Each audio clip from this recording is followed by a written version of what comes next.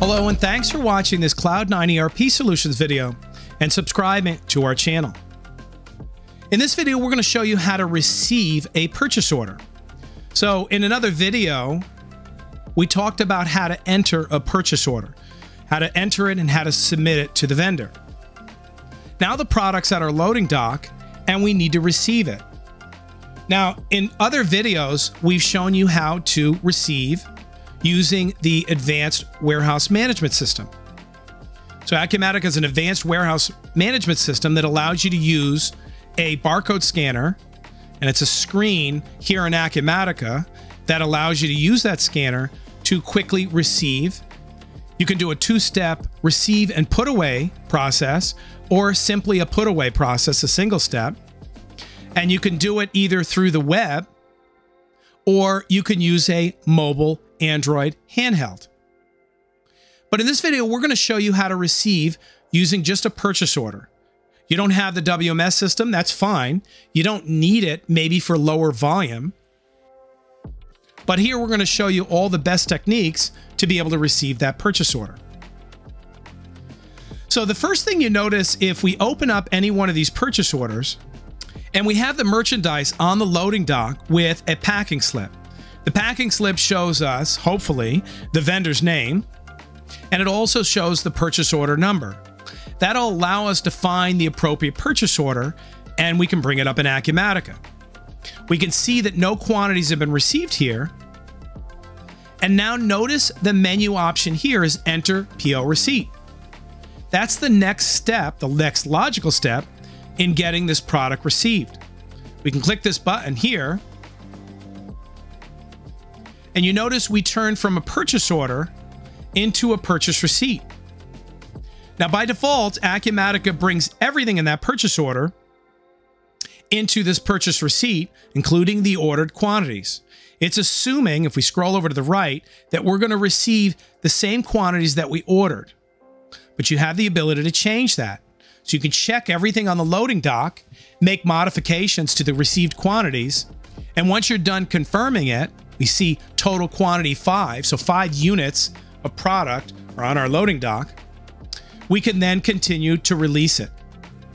Now notice the checkbox here. This is a setting in Acumatica that allows you to create a bill on the fly.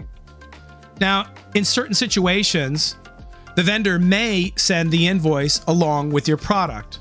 It's very rare, and in most cases, you'll get the bill a few days later. They separate the shipping of the product to you versus the billing of the product for you. So you can turn that setting off by unchecking this box, or you can go into purchase order preferences and turn it off permanently so that it doesn't auto select it to true. Now, you'll notice in the purchase order, we also have orders. It shows us the purchase order that this is associated with. But why does Acumatica have a grid potentially showing more than one record? Well, if we delete this purchase receipt, essentially resetting everything we've done, we didn't release it, so nothing is permanent.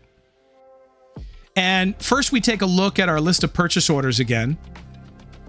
You'll notice these two purchase orders are still open at the same date. The other option in receiving purchase orders, we may have a vendor that shipped us product and it might be across multiple purchase orders. So the other way you can do it, and actually my preference is you go to purchases, you go to new purchase receipt, you select the vendor. Again, uncheck this if we don't have the bill. And now here we can add the purchase orders. So we can see the two purchase orders here. We'll check them. We'll add and close. And now we've been given the ability to receive multiple purchase orders in one purchase receipt. Now, again, if your vendor only sends one purchase order at a time, then you may want to do the first option, which was look up the purchase order and just receive it. But in this case, this gives you a really good option for receiving multiple purchase orders at once.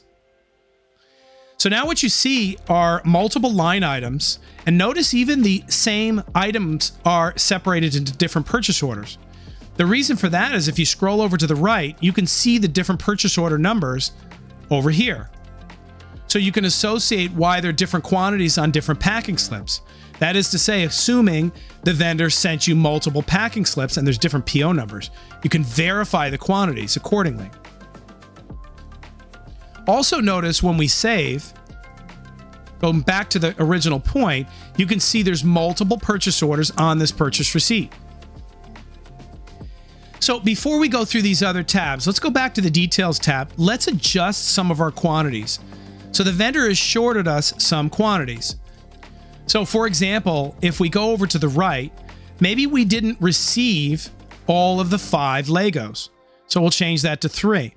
Maybe the hockey tables are only at five on our dock. And on this other purchase order, maybe we only received one here.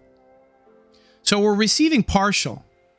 You'll also notice at the bottom of the screen, you can see what your current inventory is for that line. So keep that in mind. If we release this, this will commit this product to inventory. It won't do anything with the accounts payable bill.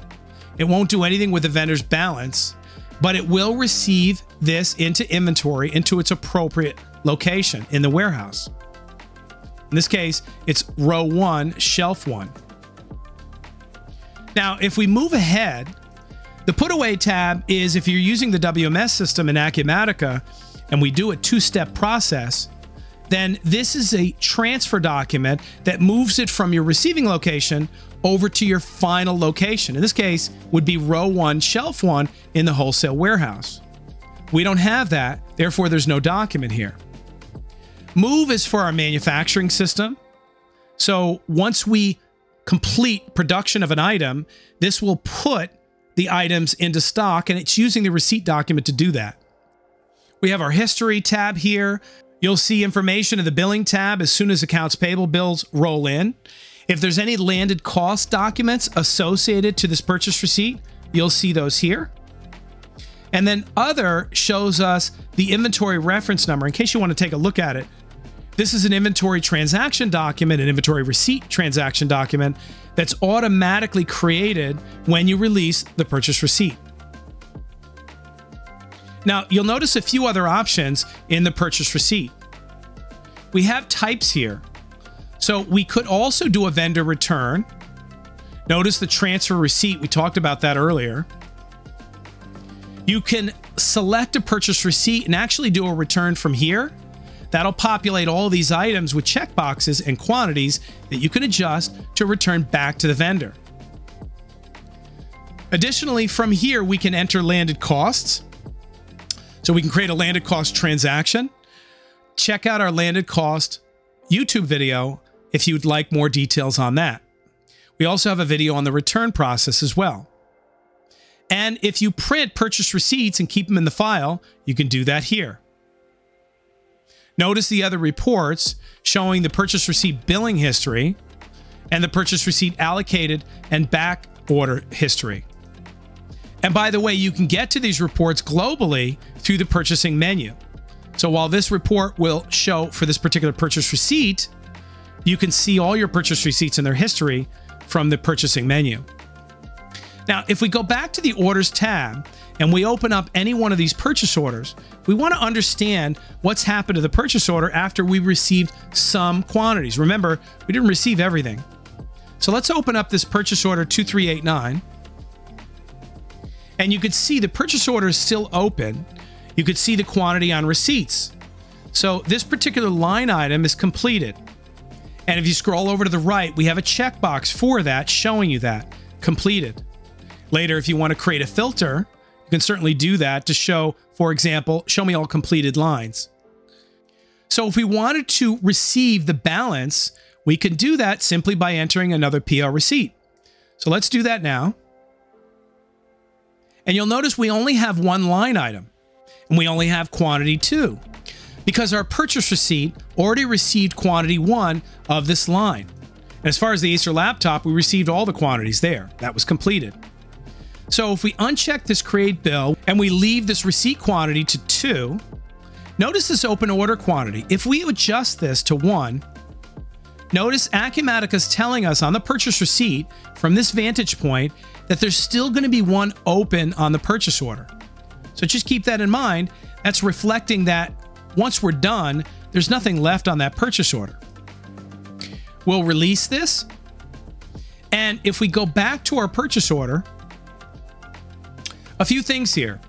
The first is notice the status is completed. That's because all quantities have been received against the order quantities.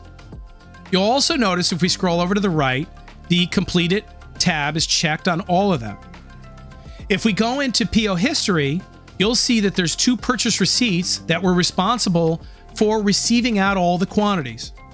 You can get to them from here. So if you need to see a breakdown, these happen to have the same dates, but it might be helpful to know that we received some of the quantities of this purchase order on this date and some of the quantities of this purchase order on this date. You can see that here. You'll also notice that in this menu, it's grayed out now because we've already had a completed order. If we close this purchase order, go back to our purchase receipt, our original one, and we open up the other one that we didn't quite receive everything on. Again, notice it's open here. Notice you can see the quantity on receipts, which don't match the ordered quantities. But as I mentioned before, over to the right, we can see that our completed checkbox is only for the first line. That's because we have quantity one for the order and quantity one for the receipts. But let's say we were done with this purchase order. Let's say we wanted to cancel it. We could call up the vendor and say, hey, we're done with this. And we can get a confirmation from the vendor letting us know that they're okay with that. We're not going to get a mysterious additional few items, even though we canceled it. What you can do there is you can go into this menu Notice you have two options here. Now, you can cancel the order with the vendor if nothing's been received. In this case, we've received some quantities. Keep in mind, whatever you do here, you're going to want to make sure you get some sort of written confirmation from the vendor. The last thing you want to do is tell Acumatica that you're done with the remaining quantities of this purchase order and yet the vendors still send quantities to your loading dock. It's going to be awfully confusing when they can't find a matching purchase order or they find a purchase order that was canceled. So ideally what you want to do is you want to confirm that you spoke to them. You could probably create an activity, create a note here that you talked to XYZ from the vendor and that you've confirmed that you're completing this order so once again, you can cancel the order if you haven't received anything. But if you're done and you only wanted these quantities so far, you don't need the additional two here and the additional four here, then you can go up here and complete the order. And notice what you see here is the status is now marked completed. So that's a good way for completing a purchase order that you don't want the vendor to submit. Maybe you got the product elsewhere. Maybe your customer has canceled the order. And you can catch this just in time by contacting the vendor and canceling the remainder, or in this case, marking it completed. So that's how to receive a purchase order. You could do it two different ways. You can look up the purchase order and select the enter PO receipt, or you can create a purchase order receipt and add the POs to it. We talked about the different quantity variances and how it leaves the purchase order open. And we talked about what the difference between cancel and complete is. And you'll notice there's an option to reopen the order in case you make a mistake. So thanks so much for watching this video. Hopefully you found it useful. Please click the like button and subscribe for all the latest videos from Cloud9 ERP Solutions. And if you have any questions about this or anything else Acumatica, feel free to reach out to us. We'd love to hear from you. Thanks again and have a great day.